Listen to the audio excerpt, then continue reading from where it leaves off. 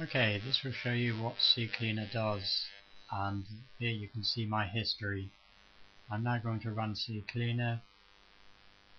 This is how it's set up.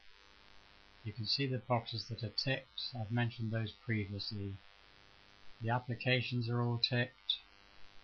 Issues, keep away from unless you know what you're doing. Tools, uninstall and startup, they've been explained in the write-up options. You have settings, cookies. Now I don't keep any cookies, all of these will go. You can select custom files to delete and folders to empty and on the advanced settings untick the first three, tick the last four. Okay, back to CCleaner.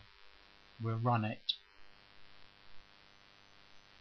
Okay, I paused the recording whilst it ran, but it only takes, as you can see, 12.789 seconds, and it removed 9.59 megabytes. My history has gone. It's cleared. It doesn't exist. That's it. Nice and easy to use.